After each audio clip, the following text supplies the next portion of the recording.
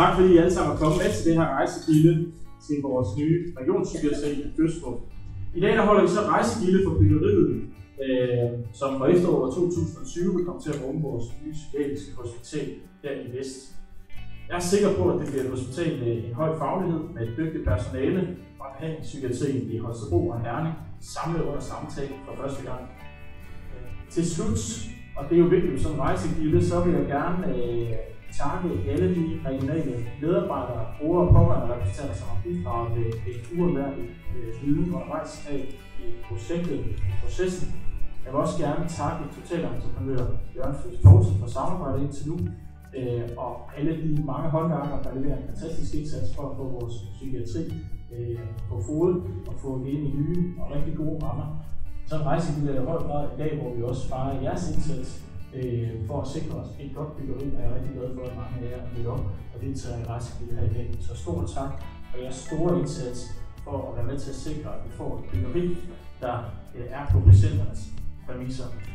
Skal vi ikke øh, råbe et øh, trefoldigt leve for regionspsykiatrien i Gøstrup? Øh, det synes jeg godt, vi kan gøre allerede nu når vi rejser til det. Regionspsykiatrien i Gøstrup, det er leve. Hurra! Hurra! Hurra!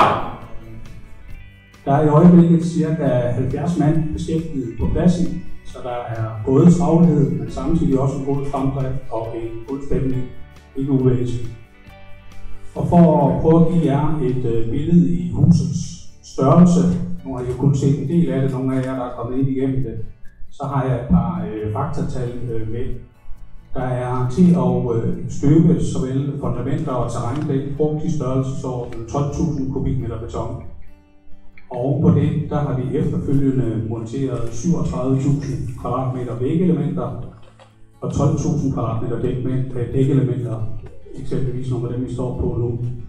Og så er der monteret 75 tons søjler og bjælker i byggeriet, alt sammen dannende det færdige rådhus. Nu er rejsegilde jo øh, håndværkernes fest, så burde det gik den vej, kan jeg se. Det er primært der, I står. Og øh, jeg vil gerne på øh, JP's vegne takke for det veludførte arbejde, både af alle jer underentreprenører, men også vores egne JP-håndværkere. Vi både regner med og forventer af jer, at I kan holde tempoet og være med til at aflevere i en håndværksmæssig god kvalitet til vores bygherrer og for så vidt også de fremtidige brugere af huset.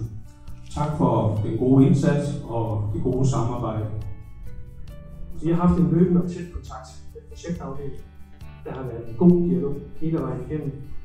Vi har fundet praktiske løsninger på de udfordringer, der er og har været.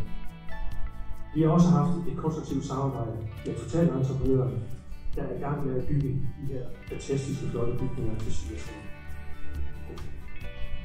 Tak til alle involverede. Ingen nævnt, ingen glemt.